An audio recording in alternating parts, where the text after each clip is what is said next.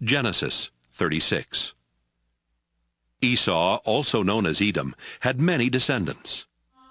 He married three Canaanite women. The first was Adah, the daughter of Elon the Hittite. The second was Oholibamah, the daughter of Anah and the granddaughter of Zibeon the Hivite. The third was Basemath, who was Ishmael's daughter and Nebaioth's sister. Esau and his three wives had five sons while in Canaan. Adah's son was Eliphaz. Basemath's son was Reuel. Oholibamah's three sons were Jeush, Jalam, and Korah. Esau took his children and wives, his relatives and servants, his animals and possessions he had gotten while in Canaan, and moved far from Jacob. He did this because the land was too crowded and could not support him and his brother with their flocks and herds. That's why Esau made his home in the hill country of Seir.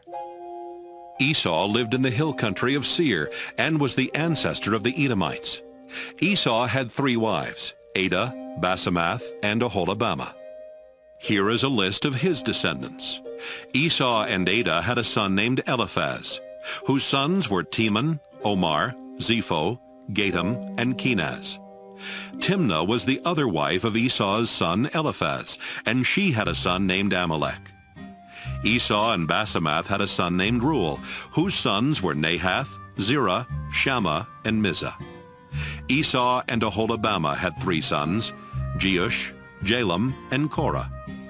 Esau and Adah's oldest son was Eliphaz, and the clans that descended from him were Teman, Omar, Zepho, Kenaz, Korah, Gatam, and Amalek. These and Esau's other descendants lived in the land of Edom. The clans that descended from Esau and Basemath's son Reuel were Nahath, Zerah, Shammah, and Mizzah. The clans that descended from Esau and Oholibamah, the daughter of Anah, were Jeush, Jalam, and Korah. All of these clans descended from Esau, who was known as Edom. Seir was from the Horite tribe that lived in Edom before the time of Esau. The clans that had descended from him were Lotan, Shobal, Zibeon, Anah, Dishon, Ezer, and Dishan. Lotan's sons were Horai and Heman. His sister was Timnah. Shobal's sons were Alvan, Manahath, Ebal, Shepho, and Onam. Zibeon's sons were Aiah and Anah, the same Anah who found an oasis in the desert while taking the donkeys of his father out to pasture. Anah's children were Dishon and Oholibamah.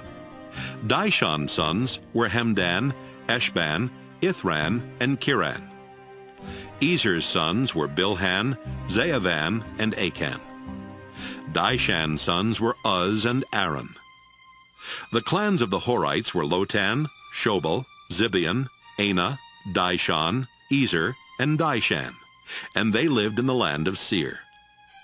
Before there were kings in Israel, the following kings ruled Edom one after another. Bela, son of Beor from Dinhabah, Jobab, son of Zerah from Bozrah, Husham from the land of Teman, Hadad, son of Bedad from Avith. Bedad had defeated the Midianites in Moab. Samlah from Masrekah, Shaul from the city of Rehoboth on the Euphrates River, Baal Hanan son of Achbor, Hadar from the city of Pau, his wife Mehetabel was the daughter of Matred and the granddaughter of Mezahab. The clans that descended from Esau took their names from their families and the places where they lived. They are Timnah, Alvah, Jetheth, Oholibamah, Elah, Pinon, Kenaz, Teman, Mibzar, Magdiel, and Iram.